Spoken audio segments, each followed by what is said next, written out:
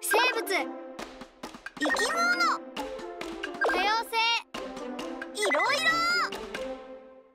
みんなつながってる。生物多様性奄美のクロウサギ。のリモさんあの看板見て。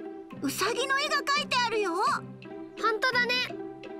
この道路はウサギのための道路なのかな？この辺には絶滅危惧種のアマミノクロウサギというウサギが住んでいるんですよ。えウサギが絶滅危惧種なの？どんなウサギなのかな？はい解説さんだよ。奄美のクロウサギは奄美大島と徳之島にしか住んでいない珍しいウサギだよ。大きさは40センチぐらいで名前の通り黒っぽい毛が生えてますよ。ウサギだけど耳は小さくて走るのも速くないんですわ高い声でピーピー鳴くんですよ。斜面や木の根元に穴を掘って暮らしているんですな。面白いのは子育ての方法。母親のウサギの巣とは別に赤ちゃんの穴を掘ってそこで赤ちゃんを産んだら土で蓋をしちゃう。天敵のハブに襲われないようにするためだそう。そして2日に1回赤ちゃんにおっぱいを飲ませるために蓋を開けておっぱいを飲ませたらまた土で蓋をしちゃう。面白いウサギですな。子ウサギは大きくなってからもおっぱいが大好きなんですよ。面白い。でもなんで絶滅しそうなの？車がアマミノクロウサギを引いてしまう交通事故が多いんです。だからこうやって看板があるんだそうです。アマミノクロウサギを引いてしまわないように注意して走ってもらうための看板なんです。そっか。他にもこうやってネットを張ってアマミノクロウサギが道路に出てこないようにしてます。これで絶滅しないね。それがそうでもないんです。アマミノクロウサギはマングースに襲われて数がすごく減ってしまったんです。マングーまたまた解説さんだよマングースは奄美大島のハブを退治するために人間が連れてきた動物。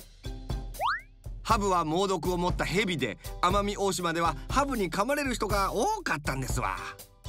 そのハブを退治するためにマングースが島に連れてこられた。でもマングースは昼に活動するから夜に活動するハブを退治することはなかったってわけ。その代わりにマングースがアマミノクロウサギを襲うからアマミノクロウサギがどんどん減っちゃった。マングースは最初30匹だったのが1万匹まで増えちゃった。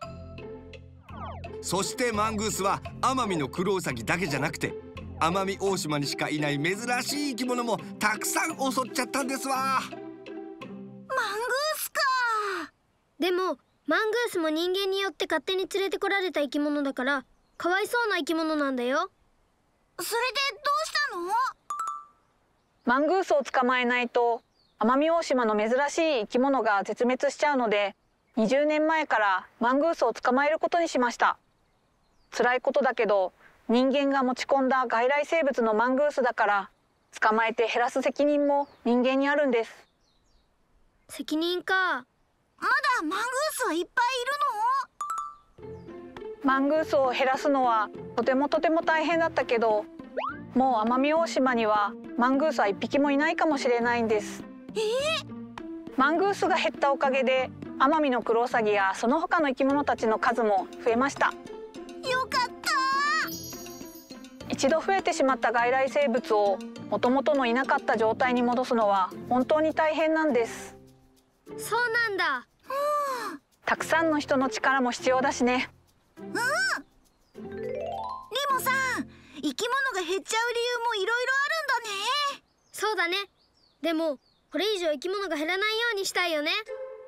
僕お父さんやお母さんが車を運転するとき生き物に気をつけるように言うよ。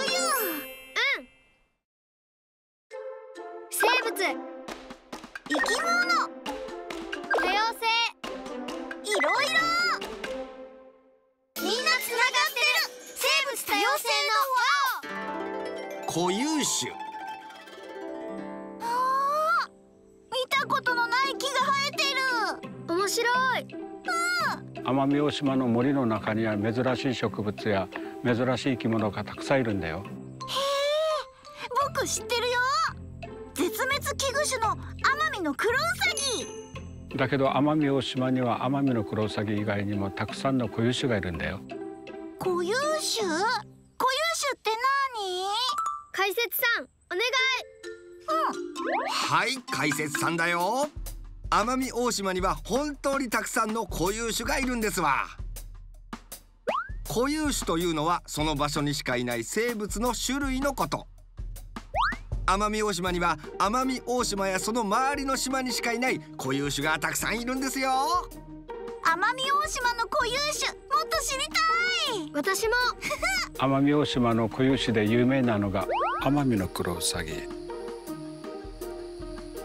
トゲ状の毛を持つ奄美トゲネズミ。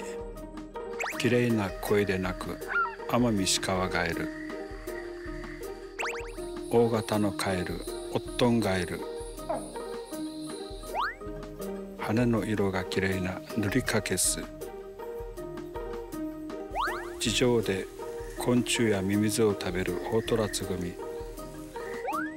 ランの仲間のアマミエビネシダ植物のアマミデンダアマミのクロウサギの糞を食べる昆虫。マルダイコクコガネ他にもたくさんの固有種がいるんだよ。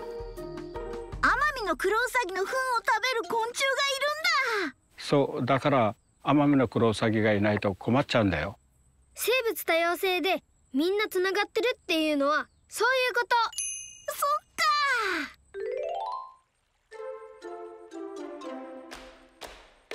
か。水の中にも奄美大島の固有種がたくさんいます。どんな魚がいるのかな？青い模様が綺麗なのがハヤセボウズハゼ。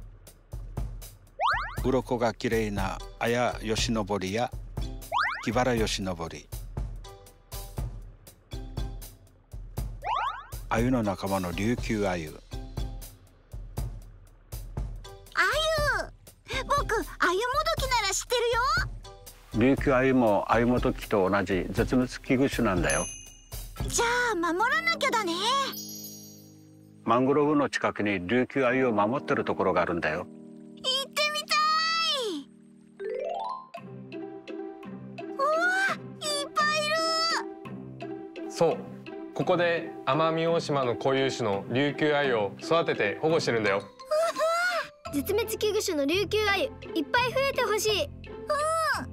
でもここで保護するだけじゃなくて琉球アユが住む川から海の環境まで守る必要があるんだ。どうして琉球アユは川の下流で生まれて浅い海やマングローブで過ごした後成長しながら川の中流まで登っていくんだ。そしてまた卵を産みに川の下流に戻ってくるんだよ。固有種を守るためには一つ一つの生き物を守るのと同時にそれらの生き物が生きていける環境を丸ごと守る必要があるんだよ。生き物や環境はみんなつながっているからね。そうだね。うん。でもなんで奄美大島にしかいない生き物がこんなにたくさんいるの？解説さんお願い。奄美大島に固有種がたくさんいるのは奄美大島がどうやってできたかを知る必要がありますな奄美大島は大昔は島ではなく大陸の一部だったんですよ。でもある時大陸から一部が離れて島になってそこに住む生き物も一緒に島に残った。そして大陸にいた同じ仲間の生き物は天敵に食べられたり環境の変化によって絶滅したりしてしまい天敵や環境の変化の少なかった奄美大島では生き残ったってわけ。さらに奄美大島の中で長い時間をかけて独自に進化していって固有種になったってことですな。へえ大陸では絶滅しちゃった生き物が奄美大島にはいるんだ。じゃあちゃんと守っていかなきゃ。うんそうだね。みんなの力で守っていきたいね。テレビ番組「しまじろ」